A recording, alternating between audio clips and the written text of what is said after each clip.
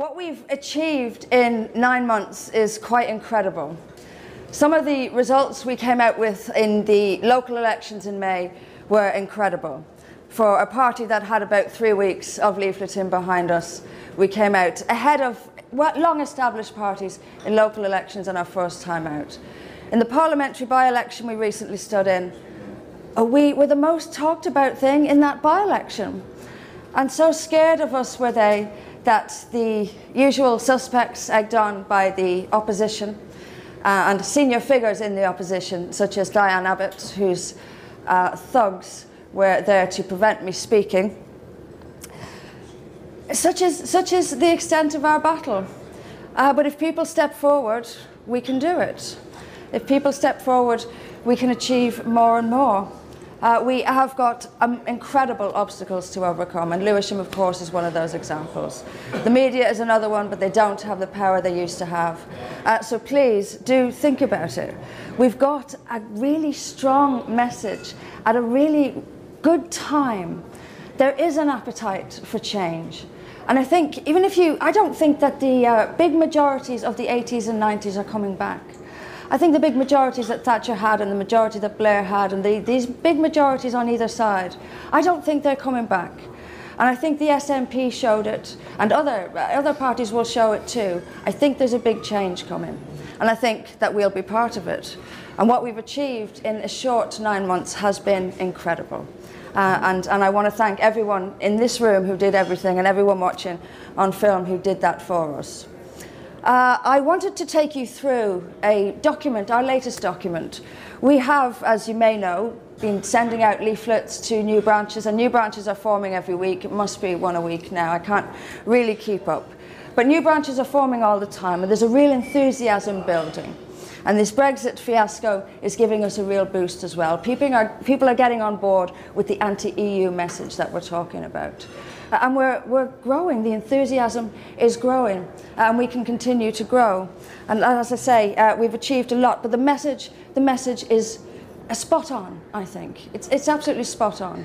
Uh, we're not extreme on either end, we're neither left nor right, and we want to be that decent, ordinary majority. And we can. So our leaflets are going out all over the place to new branches. But we've come up with a new one which I wanted to take you through, which is our 10 point plan. And have you, have you got that? Would you mind putting that up there? So, withdraw from the European Union without further delay. I think it speaks for itself. And I think we are getting to the time now where the let's walk away option has to be on the table, or at least the EU should think it's on the table.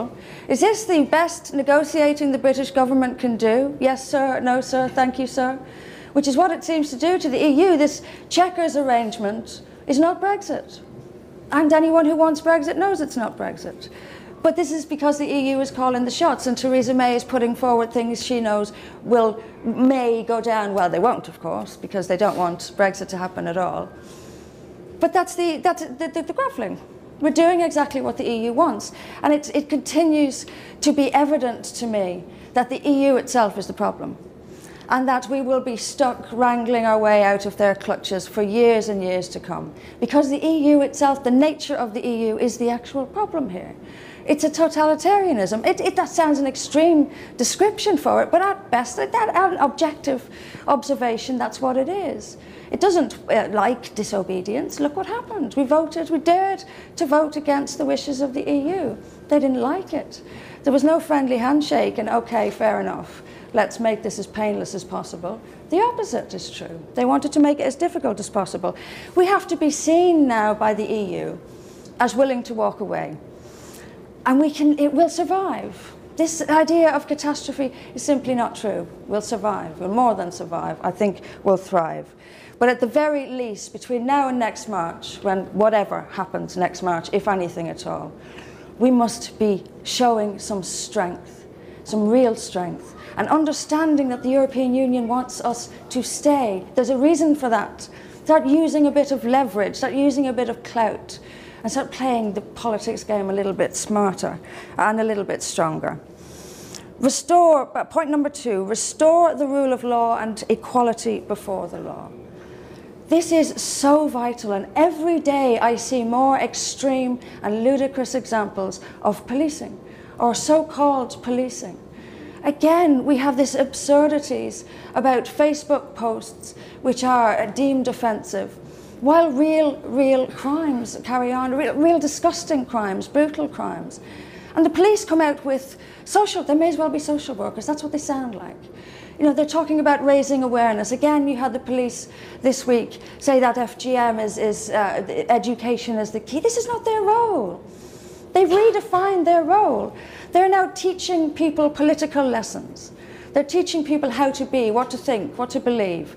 People contact me on a regular basis because police have contacted them over something they've put on YouTube is the most recent example. Someone from, it was Rotherham Council, would you believe, who uh, contacted this person asking him why he was putting far right material on YouTube. They offered no definition of this, of course, and it'll probably anything to the right of, of Chairman Mao. Uh, he was visited by the police and asked whether he discussed things like this with his children. Now, we need to understand the enormity of this. The police are going to our doors and asking parents what they are talking to their children about. They are encouraging spying as well, these hate speech laws. This encourages spying. There doesn't even have to be any evidence of any hatred, just somebody thought it was hateful, some passerby thought it was hateful. And even when they're not crimes, they're recorded as hate incidents. Non crimes is the Orwellian word used to describe them. We have police recording non crimes in Britain in 2018. This is serious. And it's serious and it's, it's not going away anytime soon, and it's caused by the common purposing of the police. They have this, this sinister left wing organisation which seeks, which has great power. People like Cressida Dick are graduates from Common Purpose. They have great power and they seek to completely undermine order. And they're doing so. The police are more concerned with uh, causing offence on Twitter. Or at least it certainly seems that way. And if it seems that way, then something has to be done about it anyway. But it's certainly true that 900 hate crime officers are occupied in the Metropolitan Police. And Metropolitan Police, where murder is, on, is exploding. We have 900 hate crime officers recording non-crime incidents. That's the state of our policing. Equality before the law completely gone. Completely gone. Now the police will worry about what colour your skin is, what minority group you may come from, which victim group you may come from, and worry about whether taking action against you uh, is, is, is offensive or may inflame community relations. Now, they don't seem to realise if we, go, if we apply this to the, the rape gangs, and we can apply it to the rape gangs, they don't seem to realise that it is the rape itself that is causing the community tension. And that the complete lack of response from the police is what causes community tension. But police are concerning themselves with how we vote, they are concerning themselves with what political views we listen to. Uh, they wouldn't allow people in the 80s to be right about the advent of the grooming gangs because they didn't want people to be voting for the BNP. This was what informed their decision whether or not to prosecute child rapists. This is a scandal. We should not be tolerating a police like this. And police run by people getting a nice chunk of public money for their trouble as well.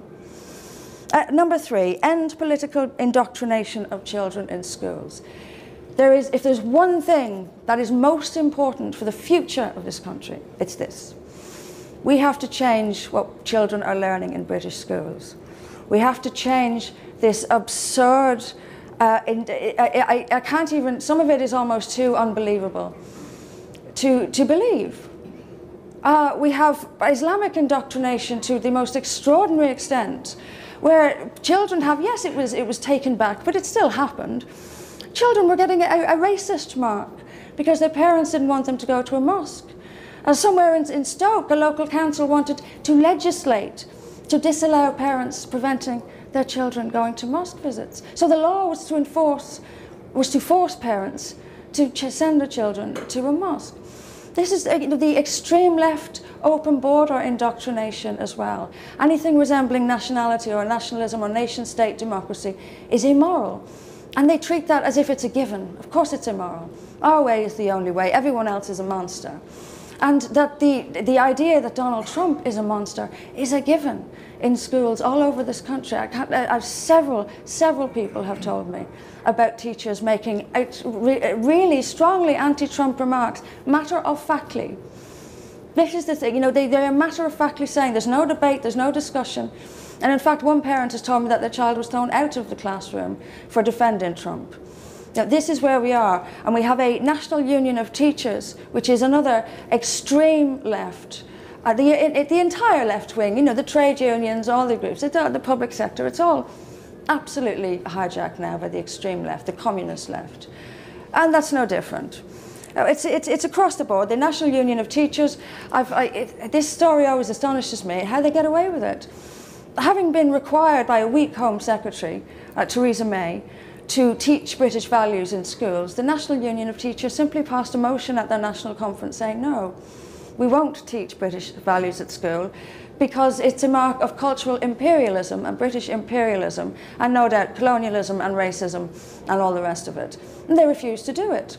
Now, where was the response from the government on this? Where is the response on this? It's completely weak. We have to, have to make, get tough, have a response to this. I want children to learn in school how to make a living. I want them to, want to be productive, respectful members of society. I want them to be open-minded. I want them to learn various different things. I want them to, to grow as an individual as a result of their education. Not to come out believing that the President of the United States is the devil incarnate and there's only one party I should ever vote for and that's Labour and everyone else is a racist and a fascist. This is what children are being taught in school. In effect, that is what they're being taught in schools. How do we change it? That's a big one, but we have to. We have to put a bit of pride back. We have to start teaching children about the, the culture of this country, the history of this country, the positive history of this country, the massive contribution that this country has made to world history. Uh, and, and the great things about it today. And one of the reasons we're in so much trouble in failing to defend our society is because we stopped believing in it. We stopped believing in it because of being educated in it. You can see in the media as well that, that uh, terrible culprit, the media. I blame a large part of our problem on them. Uh, associating the Union Jack, I saw it this week on a dispatches program about Facebook. And when they mentioned hate speech, they showed the Union Jack. They do this all the time. They'll always show uh, the English flags or Union flags, and it'll always be to show you how hateful it is. Uh, this is what we have. This is the indoctrination. It's coming from the media and it's coming from the schools. Uh, small things can do it. We can rein in the National Union of Teachers for a start and enforce a curriculum on schools. And if teachers don't want to. We, I mean, we, obviously teachers can be creative and teach as they, as they want to. You know, we're not, it's not about reining people in. But people have to have basic knowledge and have to have basic skills. And the schools are to do that and not to indoctrinate. And if teachers don't like it, I'm afraid we'll have to find a teacher who does. Point number four, freeze immigration for five years, deport illegal immigrants. I think this is going to be one of our most popular policies. It is, of course, it, actually the membership is voting on it at the moment. I don't know, I hope people have uh, found their, okay, thank you. Um, but we will, as part of it, have a freeze immigration for five years. We've got to. It's just, you, it, it, it, this is insane. How can you possibly have hundreds of thousands of people coming into your country every year? How can that possibly be sustainable? And the entire political class just pretends it isn't there.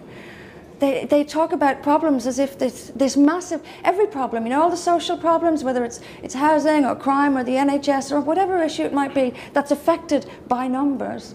They talk about the increase in demand for these things as if, as if it's not there.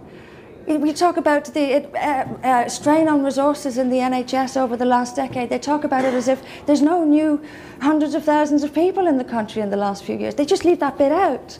And it's always, you know, policing as well. It's all, the crime levels are going up. No one ever talks about the, the population that's going up. And the population, I'm sorry to say, is not always from the most pleasant of places and are not always bringing the most pleasant of practices with them. Uh, we've, got, we, we've got to get a grip on this. It's, it's simply insanity. And we need to freeze it. and again, you know, I, it's, it's not about stopping travel in and out of the UK. Because you know you're going to get some smart, smart aleck journalists saying, oh, what are we going to close Heathrow and, and nobody's going to go anywhere. It's not about that. It's about migration. People coming here to live in these large numbers cannot be allowed to continue. There has to be a freeze on it. And whatever resources we currently use for inward migration should be rerouted to looking at illegal immigration. We have over a million illegal immigrants in this country. Uh, most will, will never leave. But what is the impact? That's a lot of people. What is the impact on the ordinary people of this country? It's got to be huge, doesn't it? It's got to be important. So we have to get a grip on this. And I think a freeze is a nice, a freeze for five years is a nice clear message to send to the, to the voter as well. We must stop this. Stability, it's clear, it's stable, it'll give us a chance to sort out the mess that we're in. But we have to, have to. There's no point in dealing with this, and, and you can't deal with any of the issues brought up by immigration while the borders are still open. You have to bring some sanity and stop it. Uh, point number five, tackle jihadi groups and imprison or remove all who pose a risk to Britain. Um, now I know that sounds a bit tough, and it sounds a bit harsh, and there'll probably be a lot of criticism for it. But here's what I don't understand, is if we have 3,000 jihadis in this country, who are so well known to the security services that these are the, the we have 23,000 that are watched. Uh, there's a particular focus on 3,000 of those. I want to know who they are. I want to know what it is that makes you put them top of your list and make those 3,000 stand out. I want to know what evidence you've got against them. I want to know what you suspect them of doing. And I want to know also whether they have a right to be in this country, and if they haven't, they should be removed from it. I, we, they, they, are, they are posing enough of a risk to us that they're on the top of a 23,000 person list. So if they're posing that much of a risk to us, why are they here? And I can guarantee you a lot of them won't, have, won't be British citizens, won't have any real legal right to be in this country. And they'll be here because of the Human Rights Act uh, because human rights is, is used by activist judges, of course, and more left-wing influence in the judiciary as well, uh, to, to, keep, to keep jihadists uh, and real, true enemies of Britain in this country. Uh, we, we have to get tough. We have to at least be willing to get tough. And don't think for a minute, because there hasn't been a terror attack for a while, that this has gone away. It absolutely hasn't. And the future is a, a, more of these terror attacks, but more of the insidious, the suit and tie jihad, uh, which we also have to tackle and we also have to be honest about. And what I mean by suit and tie jihad is the uh, Muslim organisations, the Muslim Council of Britain, the Muslim Association of Britain, groups like this who have exactly the same aims, which is a Sharia state, uh, as any, any, uh, any uh, outward jihadi, bearded jihadi um, but are going about it in a different way. And I want to confront the ideology itself. I want to uh, confront the ideology of, of jihad and whether it comes, whether people aspire to, to, to impose it on us via a gun or via the ballot box. It's the ideology itself that we must be opposing. And we have to be honest and clear about what, what that ideology is. Imprison or remove all who pose a risk. I've, I've mentioned removing.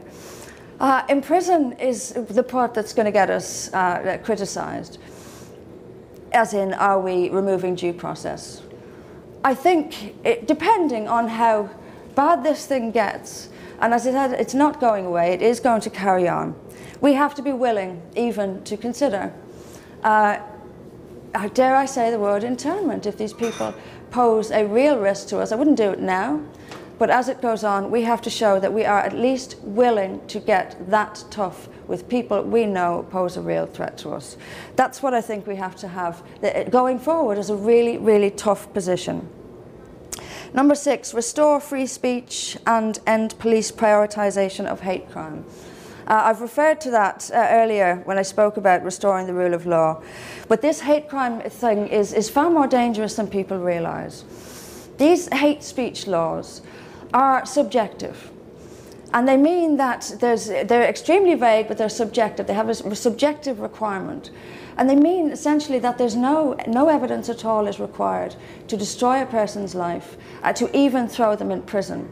This is having the most profound impact on our society. It's having a profound impact on people's confidence to get involved, to speak, to vote how they would like to, to get active how they would like to. And it's above all making people worry very much about losing their jobs. People don't know. And what's, what's so dangerous and insidious about the hate speech laws is that people don't know what they actually mean. And that's not an accident. It could mean anything. So what people's natural reaction is, is to err on the side of caution and say nothing at all. These hate speech laws have created a country that is afraid. It actually is afraid. Afraid is the word. You'll hear people who lower their voice. They'll, lower, they'll whisper words, and they do that with me because they know they can say what they like to me uh, about these controversial issues, and people do. They whisper it to me. People are afraid. This is a frightened country. And is it any wonder? Our state is not on our side. The police are not on our side.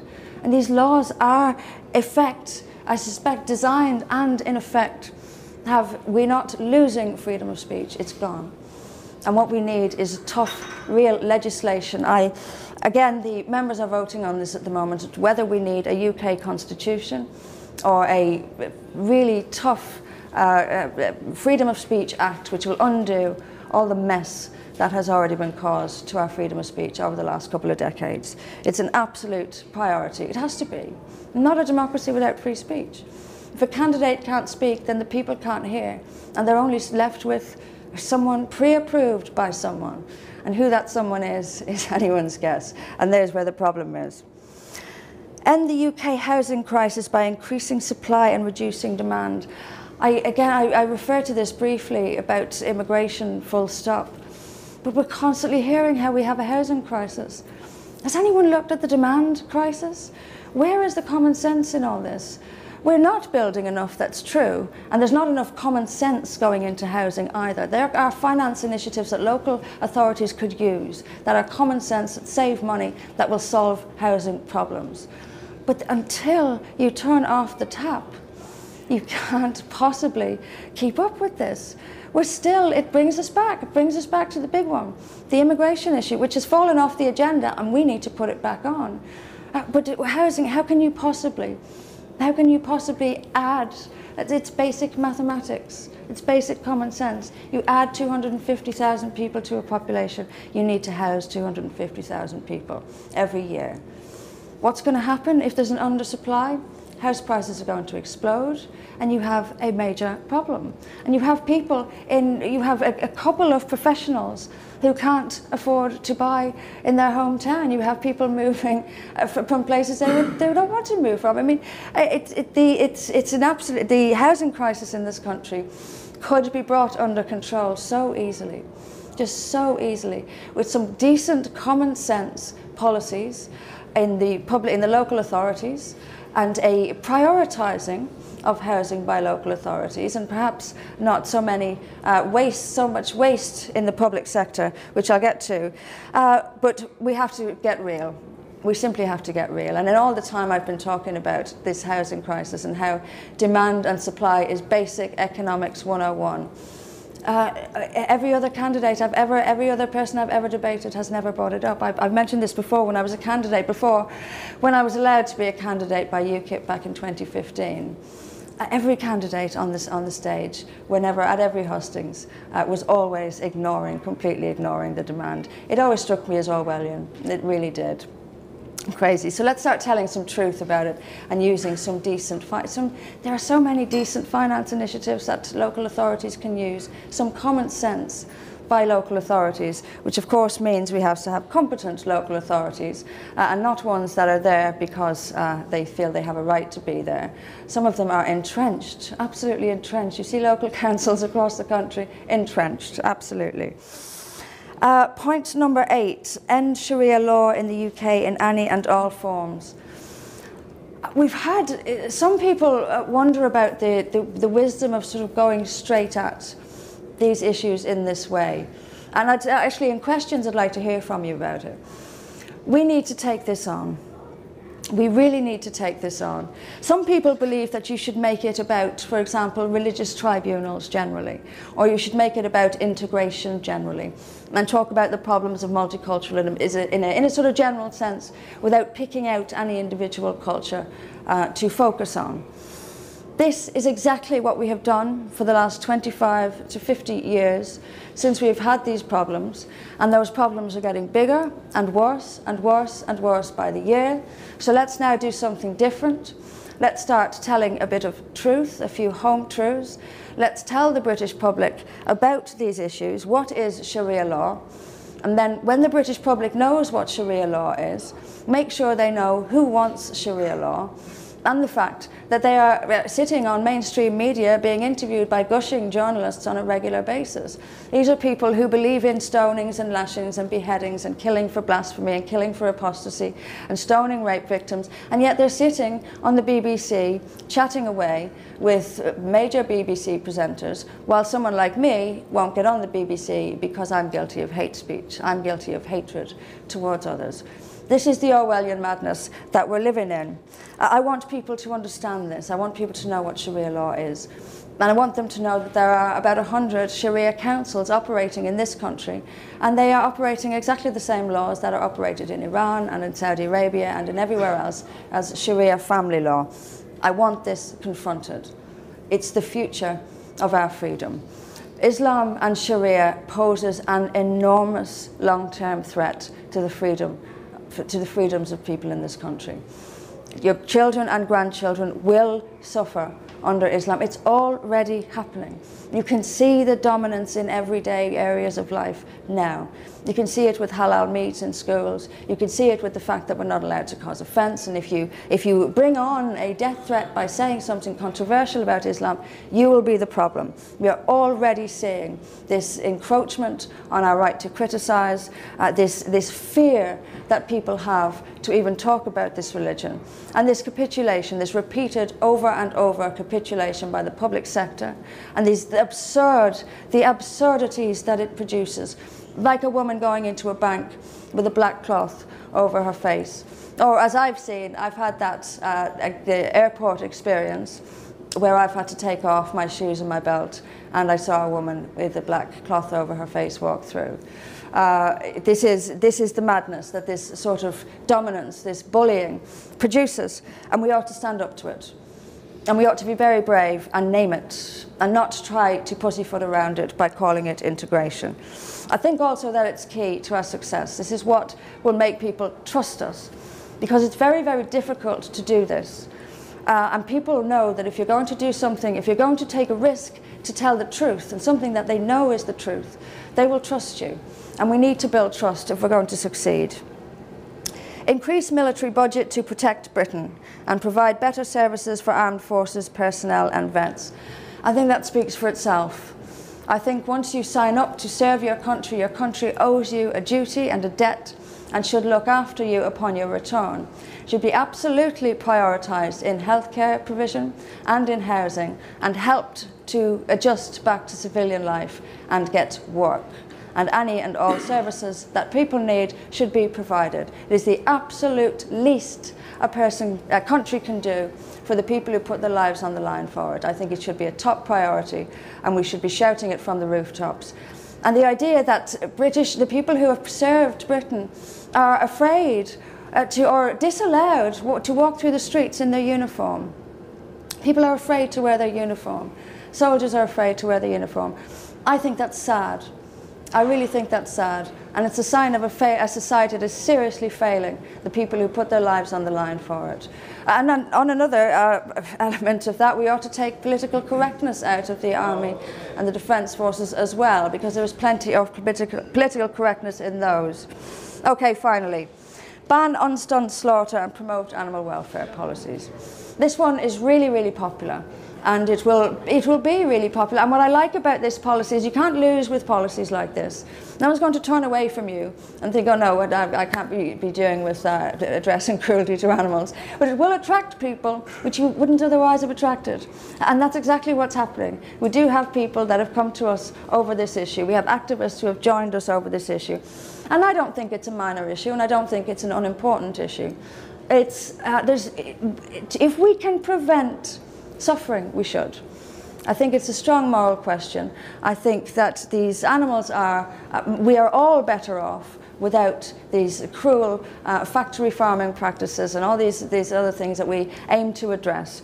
We want to go to natural, productive British old school farming again. This is what was best for humans and what is best for the animals. And that's what I would like to, like to see us aiming towards, to restore some real farming, some proper, proper British farming. And let's put cows on the, country, on, the, on the scenery where they belong, in, this, in the beautiful British countryside. Okay, I'm going to stop there. I was aware, I was sent some questions which I read through, so I know there's a lot, uh, a lot to get through. But thank you all for coming out this evening. Uh, we will, we, we'll get there. We'll get there. I, I'm so, so optimistic. And coming here again, these turnouts, this is a great turnout, and I'm delighted that everywhere I go now we're getting this turnout, and we're getting really enthusiastic people setting up members all the time. It's not going to be easy, and I'm sure we'll get on to a lot more about strategy uh, during the questions. It's not going to be easy, but I do believe in it. I do believe the message is right, uh, and I do believe that if people can see the, the value in the message and come and make it happen, because we have to make it happen. It's, it's, it's waiting to see what happens. Uh, it, it, We'll be waiting a long time. Uh, we have to make it happen. So thanks again for coming out, uh, and uh, yeah, I'll take questions. Thank you.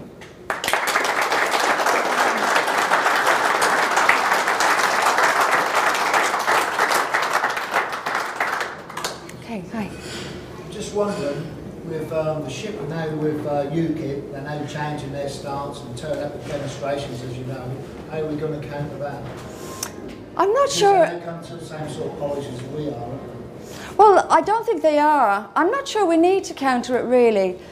I think we're going, the, the, we're going in a different direction.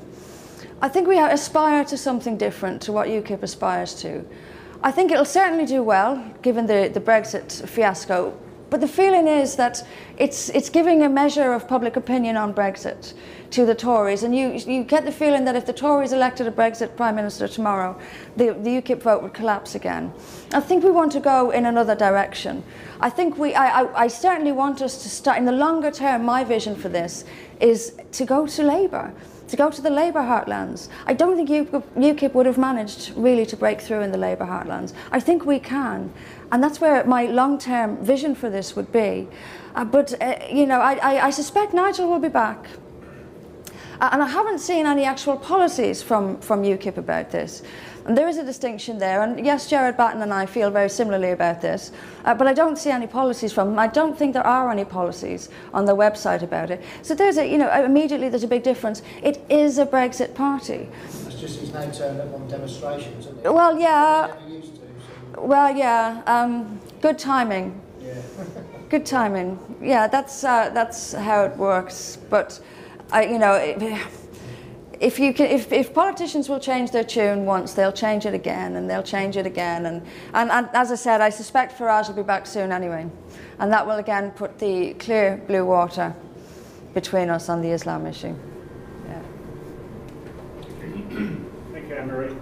Um, the policies that you have there are all very good, but we seem to have a problem getting the message over to people.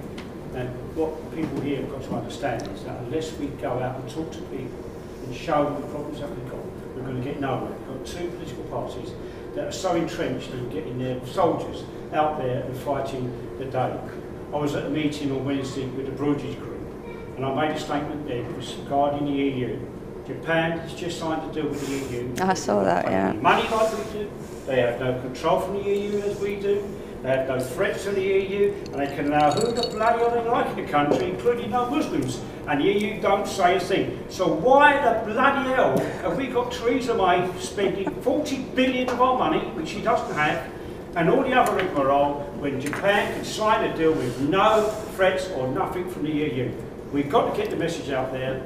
The post is there, say everything, Anne-Marie, we've got to do it because this country is heading for disaster and I don't think we're going to. I don't think we're going to get Brexit. I don't think there is any. There's, there, it, it's happening because there's no appetite for Brexit on either side. Because these politicians, they know, they know the the uh, the, the entrenched, the, uh, the authoritarian nature of the EU. They know it's not going anywhere. It's, it's not going to be, you know, a, a help Brexit. It's going to make it as difficult as possible, largely to show the rest of Europe what to send the rest of Europe a lesson. Uh, don't bear, don't dare disobey us. Why? I agree with every word you've said. I also share your anger. It's it's they can make. I know they can do. They can make. Uh, it's you see it all the time. You see it with the international bodies as well. Other countries don't take masses of refugees. Uh, nothing is said. We Trump says is that build a wall. It's the UN sticks its nose in. It's it's always the same. We're always expected uh, to take to have these open borders to take orders from these international bodies. Only us in the West. Only us in the West. Why? A million reasons. A million reasons. I'm sure you'll have your own views on them. Uh, just following off what the chap said there about getting the message out, I was a Labour voter for like until about three years ago, and all my friends, especially on Facebook, are all Labour. if I mention one word about anything to do with anything you talked about, I get so much abuse back. But if they heard you talk now, to a lot of your policies to get them to come down, I think they might actually agree. It seems there's a lot of not resentment, but to admit they're wrong. They've been dragged along for so long in this direction. And as Alex here and my friend Matt, we've come down because we were believing all that. But it takes a lot of guts to actually go against people you've known for years to say things because you're going to get called racist, white supremacist, and all that. So if we can get people to come down and listen to you, you know. Please do. And, but there's got to be a, a way to do that, like a, a, format to get them to come down. And if everybody here told three or four people in, a, in the right way, and swell these numbers to the back of the hall, that's the way to do it, I think. Let's do it. Yeah. Let's do it several times. But we need to do we need to do all of these things. We need to do everything. We need to do so many different things, but tried and tested things, things that you do. Uh, you get on the internet, you make videos. They are spread. I mean, it's we get. I've got thousands more of the YouTube videos viewers now than I had when we started. You know, and it's it's working, it's developing, it's growing. Uh, we need to use every every every possibility, every communication we can. Leaflets, events, internet, good old-fashioned campaigning and doorstepping we need to use it all, but it won't be easy. But I still think we're doing incredibly well. Hi. Um, picking off that gentleman said, there's, um, I've come to the conclusion that there's a lot of people that will go out with a placard and there are other people that don't want to do such a thing so publicly. Uh, if you search YouTube, and you'll also see in a minute, there's a video called Be a Snail, Leave a Trail. And what you can do, you were saying about talking to individual people, mm. what you can do is be a snail, leave a trail for other people to find. Mm. And you are absolutely right. If people speak to just one or two people every single day, so it becomes a habit, or they leave a leaflet where they go, over a course of a year, if you multiply that up, you can reach the whole of the UK. And you're circumnavigating the media as well, which are on our side at the moment. So I think being a Trail is the way, and also for people that are entrenched in their beliefs, as we all were at one point, um, if we can give them a slowly but surely graceful exit from their entrenchment so that they can formulate their own opinion and it's usually, there's a saying that you can't say the wrong thing to the right person and I think that they will eventually start putting pieces together and decide that actually I don't like what they're doing, but I do like what they're doing. People stay silent, don't they? That's the easiest way. I think though what you've got to do is just to have the courage to say what you think and uh, pay no attention to what other people say. Uh, our uh, forefathers faced machine guns in the trenches and fought for the freedom of this country in a very physical way where they could be uh, mortally wounded or even killed. Or the worst thing that's going to happen to us is that somebody's going to call us a racist and we've just got to say, so what? Some people have lost their jobs, right? That is the Well, big one. we've got That some is the big one. People losing their jobs And is the I think big one. If everybody started speaking out, there'd be so many people, they wouldn't be able to sack the people that say what we say. They wouldn't be able to put us in prison because there'd be so many, there wouldn't be the space in prisons. So it just requires everybody to have the courage to speak out. That is true. That is true. It's just it's extremely difficult for individuals. Everybody's fearful now of the police, of, as you say, hate crimes. Mm. Nobody wants to stand up and, and speak their mind because if they do, they get labelled. You know, racist, homophobic, sexist, bigot. As soon, as soon as you open your mouth, I know. I know, people are open your terrified. Mouth, You shot down in flames. Yeah, This is people why are it's important. terrified. That is British, it's exactly like you, you, we've got to fight them, we've got to stand up against them. They, if, they, if, they, if they're here at a meeting, shouting down saying, excuse me, this is called democracy, if you don't like it, go out. You're not welcome here. We're here to listen to the reasons of why we're here for. You've got to fight them back because this is our society. Unless we fight, we lose. And if we give up, we might as well just give up and get up the goats and let me, let me run by the EU and, and certainly the Muslims. Well said, I tell it's not well worth it. said, yeah. Look, like political leaders, church leaders are bowing down. They're ordering people to bow down. They're, they're using, the Pope has called for uh, more immigration. It's, it's, it's across the board, and, and, the, and the, left the lefties wouldn't do. The people that the Archbishop of Canterbury has invited here, if the left, if any Christian said or thought anything remotely like those did, like they want to kill gays and all the rest of it, if that was a Christian, the left would be pro- there'd be riots. And you know something else, and that people aren't really aware of, is that the, the, the, the British government fund religious organisations. Every pound donated is, is supplemented by the government, and it's their way of controlling religious organisations. Well, they're not doing a very good job of it. Islamic organisations, they're, they're raking in millions through British government, uh, British taxpayers' money to fund their to fund their, their situations. Yes. God knows where else they get the money from, from Saudi Arabia Yes. and the rest of it. Oh, we're, we're very Yeah, much we paying for our own destruction on many on many accounts. Uh, the man in the white shirt. Thank you. Good evening. Anne. Hello. I've come down from Sheffield today to speak. Um, three things. Two of them are fairly well connected. The other one's just blown up. Right, can we have one conversation in the room, please? Um, we as parents have got a duty to our children to protect them. These Right. grooming gangs, yes, they're portrayed as Muslims, they're not. They're Islamists. And it's not just them, it goes further ahead. They're emboldened by inactivity within the powers that be. And they're also within the system, it's corrupt to the core with paedophiles. And what is the party stance on fishing all the big out? The I agree with you entirely. I want the people, I want the disgusted local people in towns where this happens to have the legal ability to remove these chief constables who have sat around and chief executives of councils who sat around for decades and did absolutely nothing. I want them fired at best, criminally prosecuted, uh, uh, uh, preferably. This is a scandal. Of course, it happened because of, of this, this corruption across the board in the public sector, in the police and local government. Of course, it happened. They would have, they could have stopped it. They should have stopped it. They didn't. They are to blame for that. But that doesn't mean we shouldn't talk about the fact that 84% of these are Muslims, and that it's, there's, there's a common factor here, and that if we can learn that lesson, perhaps there's a lesson in immigration to be learned from that. Uh, we have to understand that a lot of these people, of this culture is coming from a place where girls are not covered, are considered to be fair game. Then you're putting these people into a society where girls are not covered. That's relevant, and we should be talking about it. And no one said uh, only Muslims rape children, but there's a problem here, and there's a problem with the way they see us. There's a racial problem. There's a problem, we, and we should, and it's big enough for us to be talking about it and confront it with, uh, and covering all aspects. And that one's important, and we can't run away from it. No, Uh, okay, I'll come to you. I, yeah.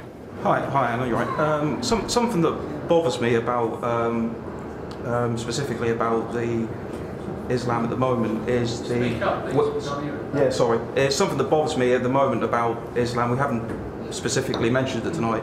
Is the wearing of the full face burqa, um, which I think is a, a big barrier to social integration um, and for society in general. Um, I don't think it does any good for the people, the Muslim women who are in this country, in terms of what employment prospects or you know communicating with the native people of the country, integrating, etc. Um, and you know, and also the big security threat around that. I think we need to go further than just advocating a you know a ban in public spaces, but should it do we need to consider an outright ban for something that just is um, uh, sort of represents a different value system to uh, our own country and sort of uh, you know uh, is a visual sign of the segregation that exists between you know Islam and British society. I agree. Uh, it is a, a very it's a sinister, disturbing thing, the burqa and the niqab. I don't. It's it's make, it's very uncomfortable for a culture like us to be confronted with this. It has to be banned. How you would ban it? You know, banning it in public spaces is pretty much banning it. Because you can't uh, tell people that they can't wear it at home, and if they wear it at home, it's got no impact on the rest of us anyway. Um, but the, one of the big elements, big questions I think that needs to be answered is about schools, whether it should be banned in schools. I think if you ban it in public spaces, you're banning it in schools. But if you're, what about private schools? Uh, and what about the hijab in schools? I personally, I, it's not something I necessarily advocate. I do advocate banning the book burqa, banning the face veil, absolutely. Uh, but whether I would advocate banning the hijab, personally, I'd like to see it banned in schools but I think it might be just a little bit too far, a little bit too authoritarian. Maybe you could put an age on it. But it is, it's, it's, and I don't think most of the girls want to wear it. They don't, you know, we're told about this choice stuff. Uh, I'm sure, of course, some women choose to wear it, but I'd wager that the vast majority don't. And if they had any bit of freedom, they wouldn't. I remember doing a school in Harrow, talking this is a long time ago, back when I was still allowed to speak at schools uh, I, I, there was a, girl, a, room and, lots and lots of girls had the hijab on in the room. And when I said we should ban the burqa, they applauded. And I know it's different, the burqa and the hijab are different, but it gives you an idea that they're not big fans of this Islamic garb if they're going to applaud the idea of banning the burqa. It, we must it, it, ban it outright in public. This is it's it's, it's absurd. It's absurd. It actually looks like something, someone from a science fiction. You just can't believe that you have all these exceptions and that someone is allowed to walk around in airports with a long black cloth over their face. It's crazy. It absolutely has to be banned. And I think there's a, a debate for banning the hijab in schools, and I personally would be in favour of it. I think it goes deeper than that. I think, it, you know, I think for society in general, it just... Uh, you mean for the future? It, you, know, you know, it magnifies the, the divide, doesn't it? it it's just that perhaps a wee bit too authoritarian. I think you have to get that balance between liberty. Uh, you know, you have to. You can't go too far into encroaching on people's liberties, uh, even if you think it would be for the best. I think you have to be very careful. Maybe in the longer term, uh, the future culture of the country, to ban it altogether would be an idea. That would be the thing that would persuade me most. But it's just I don't think the public would go for it, but banning this, the niqab, definitely. I think it, it already has majority support, yeah. and we should go with that. I wouldn't necessarily, you know, advocate banning the, the hijab, but the, the full face veil. Yeah, oh, definitely, definitely, without doubt. Just shouldn't be there. Without doubt, without doubt. I'm, okay, Hi. Oh, I'll stand up because I've got a quiet voice. Um, I wanted to come back on the paedophilia um, and the so-called grooming gangs. Um, think rape gangs would be more appropriate, but I think it's it's very, very serious, and, and I want to wonder what for Britain what we can do to help because I had a friend commit suicide because she wasn't able to protect her two children, and she really enlightened me because I kept saying, can't you do this, can't you do that, and they're called rings for a reason. That I, she couldn't get help at the school because there was a teacher who was in the paedophile ring. She couldn't get help with the CID because her main perpetrator, i.e. husband, he had his father in the CID. And um, the social workers have been told she's a liar, even though she had proof that he was lost. And so no one helped these children. And, and it just came to me that it's just, they've got people, it's not that we're swamped them, but they've got people in such high places, in the royal family, in governments, in everywhere. And the Islamic are certain, certainly prolific. I won't go to an Islamic country because they just grab them, you know. But what can we do? Because it's, it's, it's very, very serious and, and we need to protect our children, you know. I mean, at a political level, we need a complete culture shift in policing and social welfare. There needs to be, there needs to be, I guess, on a more practical level, something fundamentally safe for whistleblowers to go to, and for someone to be there for the whistleblower. Being a whistleblower is a dangerous business, and we rely on them. And we saw what happened to whistleblowers in Rotherham and elsewhere. It, it's it's a huge question. I think we could do practical things on the ground. I think we could set up support groups, phone lines. Uh, there, I, a friend of mine is doing something just like at the moment in Scotland for grooming gang victims. There is no specific helpline to gather information. You hear a lot of anecdotal evidence that this is going on, but there's nowhere seems to be anywhere anyone gathering information, anything concrete. As you say, girls are meeting a brick wall everywhere. On a practical level, we need to fill that. We need to fill that that hole that they're, they're just facing. That there's no support there. We have to fill that gap. But there are a million. The, the rings, they're organised. What do you think we should do locally? Well, they, they need to do something about the social, the corruption with the social workers and the police force, all colluding, and everyone's wanting to protect their jobs. Well, let's campaign to make them accountable. One of the big problems, again, is lack of accountability. They're not answering to anyone. These, these police, these senior police and senior chief executives are not answering to anybody. They're answering to each other. Basically, another layer of bureaucracy and then another layer of bureaucracy until they're moved from one bureaucratic job to another bureaucratic job on another six figures. They're all accountable to each other. I think we've got to work out a way to make them publicly accountable. Something with real teeth. Years and years and years. It's entrenched. It's entrenched. But yeah. I was a victim myself at the age of eight. I'm 58. It's been going on for 50 years, a court case. your court And do you know case. what I get is no evidence. I wasn't the only one, I was his favourite. It's been going for 50 years to bring him to court. He went to court once when I was 12 years old. It was on a Saturday. My name got published in a well-known newspaper. Do you know why he got let off? Because he was getting married the same day. The police are still, they're now come back on scene. They've reopened up the case, and now I'm being told is there still may not be a case to pass. I had to live with this at 58 from the age of 8 to the age of 12. I was in the hands of a paedophile. Yes, It- there's many times I went to commit suicide, even up to what, two years ago. And you're not a statistic, are you? This is it. We talk about these things as if they're statistics. I did want. Something. Failure after failure after failure. You know, And the police make a report, yet they cancel it. So disrespectful. It's incredible. It's incredible. So the other thing was I say they should stop handing out those soft sentences. yeah.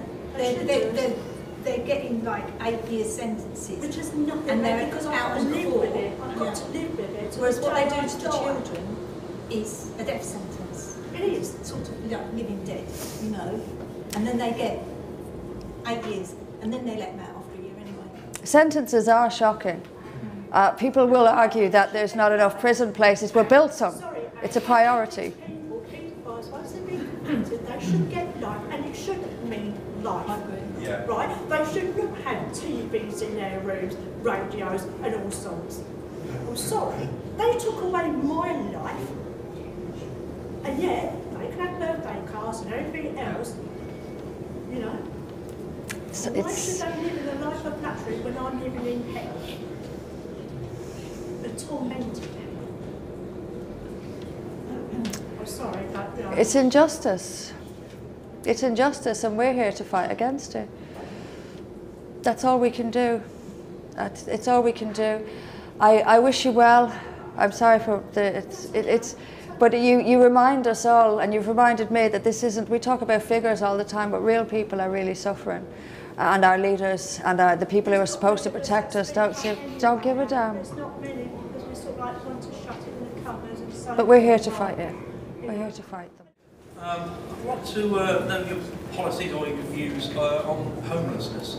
Um, we've got quite a bit of homelessness in, in Norwich, maybe not as much as other cities, um, but it's, uh, it's quite disgusting really to see in the 21st century homeless people living on the streets and dying on the streets when you have immigrants coming in and I think there's going to be uh, another 100 or is it 200 coming into Norwich yeah, from Syria allegedly, then they're going to go straight into accommodation.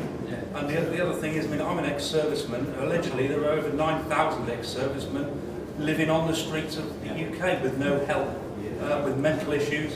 I'd just like to know what your uh, what your views are and your policies, if any, please. Well, the uh, people, the veterans, as I've, I've said uh, when I was going through the leaflet, absolutely have to be prioritised for housing and for health. It's the least a country can do. We have to, it's, it's common sense again, we have to stop all this migration as a starting point. You have to turn off the tap and then you have to elect local governments because the local governments are actually very powerful. They, you know, they govern a lot of very important matters and of course housing is one of them. We've got to get some competent uh, competent local government who know that they have to build houses for local people uh, and be made to do it. And let's have some incentivise, let's have some decent economic policies, some decent economic ideas to get this thing moving. But you have to, at first, close the door. You cannot possibly have a decent housing strategy unless you have and you, with hundreds of thousands of people coming into the country, and a local council might be left with a thousand people suddenly to cater for. You cannot have a housing policy if you have a thousand people turning up on your doorstep. That's what has to stop. And then we have to start holding these incompetent local governments to account and get some building going and get some house prices down a little bit, I think, in some areas at least. What would your stance be on proportional representation and how it could um, help the party grow? Because as much as as much as these policies may be good for um, for working class people and just general people in the country, surely you're just banging up against the brick wall which is first past the post. For example, in 2015, UKIP got just under 4 million votes. Under a PR system, that would work out that they'd get 83 seats when in reality they only got one. So how do you think that it could be uh, that PR could be campaigned for as a main party policy as even if you do get more support, the MPs may still not come because it could be spread out and you get close to majority, but it still doesn't matter. I think it's, it's one of the things that members are voting on at the moment, whether we should campaign for a proportional representation. I expect the vote to be yes, and I think it's very important. Uh, we, how we campaign for it is to continually point out the injustice that that description, that example you've just given describes. People need to know this. This is not, it, it produces and it has produced and will continue to produce uh, a two-party state, at least for the foreseeable future. But, on the other hand, first past the post, I have a lot of sympathy with first past the post. Firstly, because it produces strong government a government that can have a majority in Parliament and doesn't have to go. With proportional representation presents a lot of cooperation. Uh, and I like the quite the, the strength of the first part. the very notion of first past the post. Uh, it's very clear. But I think the country is ready for proportional representation. I think first past the post is no longer fit for purpose. But I will make one last point. Uh, the Scottish National Party in 2015. Now, I know that UKIP had close to 4 million, as you said, and only got one MP. The Scottish National Party managed to wipe uh, Labour off the face of Scotland in one night. I didn't expect them at all to get rid of so many Labour MPs in one night. It was a complete wipeout, and that was on the first past the post. So I think if things, you know, no system can prevent you from winning if your policies are good enough and if you're getting out there uh, and, and getting your message out. But on balance, I have sympathy with both arguments, but on, on balance, I think probably proportional representation is where it's at, and we're going to, and I think that's what the party's going to vote for, and I'll happily campaign for it by pointing out just these injustices. Do you think For Britain could be the one national party that actually keeps banging on and on about that? Because none of the other parties are. You'll have the Greens, sympathetic, the Lib Dems, even Labour. Absolutely. The Norwich South MP, Clive Lewis, talk about it? Uh, the SNP are in favour of it. Yeah. Uh, yeah, absolutely. If that's how the members vote, then absolutely. It's one that will be uh, one of our many unique policies. And we need to target um, predominantly Brexit areas where they have been let down by their MP, where they voted against what constituents. Yeah. I think we do. I think we need to be wise. The East Midlands, it was predominantly. Yeah. It- these are these are questions that are really going to be answered over the next few months, depending on well when we've no idea when we'll have a general election. I don't think there's going to be one this year, but I seem to be in a minority. Most people think there's going to be one in the autumn. I don't think there will be, um, but we don't know when it's coming. I'm asking people to prepare to if you to leave here this evening and seriously consider standing as a candidate. Please do. Uh, it will depend a lot on how many candidates we get. We would like to let everyone stand, for everyone who wants to stand, to stand. But there are obvious common sense should tell you that there are areas that we should, we would be more likely to do well. I think the uh, Yorkshire and Lancashire and the northeast of England are areas that we could do very well initially. Uh, and we've already got quite a lot of activity, a lot of branches up in the northeast of England. And it's not, it's not about giving up on the rest of the country. It's about going where you can have an impact and where you can build support. Yeah. So definitely, I mean, we, these are things that we need to iron out when we see how many candidates we get. But definitely, targeting is, is wise, especially at this early stage where we need a little bit of momentum, a bit of attention. Yeah. Yeah. Uh, two quick things. Uh, brought up a great point there. I keep seeing it on Twitter about um, standing as a candidate or uh, um, as a councillor. Uh, I don't know, unless you've got a, a, a background in politics, I have no idea what that's involving.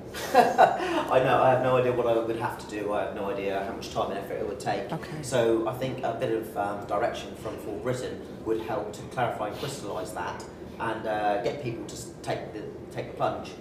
Um, on the second thing, I don't know if you all noticed in this room, but when we started talking, there's a lot of how do we get people to do, and then when we st- started talking about um, um, what we could do, be a snail, leave a trail, writing to the um, uh, superstores, uh, standing up, don't give a damn, don't care if you're being called racist because you're not, you're patriotic. patriotic. Um, it, what it shows is we're all at different levels, and I think the way forward, and shoot me down if I'm wrong, is when you get up in the morning, and this is how we get to that lady there, we get the masses behind us, is to get up in the morning and say, who can I communicate the For Britain message to today and how? Now, if you want to run down the street with a placard, good on you. If you want to leave a leaflet at a cash point, good on you. But that's the way we do it. Every day, be a snail, leave a trail, get out there, get it in front of people, and get them thinking about it, and then that will snowball and will get momentum. I love this. Thank you. Social media, it doesn't matter where you're. If, um, I'll tell you a nice. Yeah, social media, it doesn't matter. Whatever you're comfortable at doing, that's where I think you should pitch it.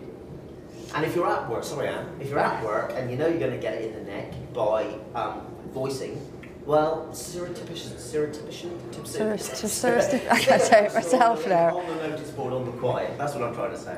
Um, and, and then you can leave one at the coffee machine. Um, and it doesn't have to be a fancy poster, it just has to be, oh, I bought a stamp, which cost me seven quid. Every time I go to Sainsbury's, they've got free newspapers. By the time I leave, that newspaper is full of For Britain website. you know, hundreds of people are going to come in and read that newspaper and think, wow. Oh, we So- love this. Thank you. I love the idea of people getting up in the morning and thinking, how can I promote for Britain today? I love this. Thank you. Um, activist. I have, uh, just to come back to your first point, I have contacted branches to ask them to organise a meeting with the sole intention of selecting or at least identifying candidates. At those meetings, we want to tell people exactly what to do and, and ideas about what, how to get involved in your local area, to raise your profile, and then we will have media training for candidates. Um, so I'm hoping that some more branches will, will organise those Also, meetings. There's a few in the pipeline. On YouTube, so people, normal people, normal Good idea. can look I'll at get it that. go, oh, I could do that. I'll tell you what I'll get that done. best, Yeah, I run um, Vote Leave East Anglia Facebook group. And some of the best things what we share is Anne Marie, picture of Anne Marie and quotes, and they sh- share all day long. And that's what you need to do. Yeah, yeah. Simple quotes and pictures travel more than anything. We were thinking about T-shirts and quotes as well. There is merchandise coming, by the way. These things are just gotta put it IT very difficult. Um, okay, anyone else? Okay. Changing tact. Um, there's been a few cases recently of kangaroo and secret courts of whistleblowers to elite in this country. I was wondering what your views are on the, the cases of Tommy Robinson and Melanie Shaw and the legality involved, because surely it's touching on the borders of whether it's legal or not. You know, honestly, I really don't know enough about the legal details of these cases. I mean, there's this camera on me, and what I say, uh, it will be used to get. If I say anything, I really don't know the details of them, and they're very, very complex. And what I will say is that it's, it is persecution. They, it is constant. He has 10 years plus of persecution, and everybody knows it. And regardless of what the legalities of are the case against him, everybody knows that. The police, the selective policing, the selective law enforcement, of course. Of course, if he was, if he wasn't Tommy Robinson, he would be treated very, very differently. But I don't know the cases to comment on them on camera or any other way. In fact, she started to blow whistle on many high-level MPs, um, police chiefs, uh, councillors, and suddenly she's put in solitary for two years, and now they're claiming that she's gone skew with when she's been in solitary for two years. You're not allowed to be in for more than three months, so they've basically turned her. They've put Tommy in solitary for longer than is legally allowed in the past as well. Corruption, it's endemic. It's absolutely endemic. We, we all have to do our bit, and what we're trying to do as a party here is to provide that political pushback. Uh, you know, there are, there are lawyers working for Tommy, there are activists working for Tommy. Everyone has to do their bit. And we are, what I want us to do is provide that political party for people to vote for. And even if we start out small, which of course, actually we didn't start out small, we did really well in the local elections, but we, just to be that someone that they can go out and they're, they're too afraid to say so, but they can vote in private. And that's our job is to provide that part of the fight back. Um, but I, I, of course, he needs to be kept safe. It's poor Tommy. The, the man has just been persecuted for years. I don't know how he does it. Actually, I don't know how he puts up with it. I don't know how he keeps going. Okay, I think. What time are we on? Okay. Okay, I'll come back to One last one. Okay, this should be the last one. I think. about the corruption within the police. Should police officers be allowed to serve record? God, that's that's not a question I've considered. My instinct would be no. Because there's apparently there's at least 5,000 currently serving. Really? I had no idea that was the case. Just going to what the gentleman was saying about the veterans, surely maybe giving them a job within the police force, keep these assholes out. Yeah, yeah. I mean, These veterans the job. They deserve it more than these assholes Absolutely, and I was speaking to my the security guys who look after me at outdoor events.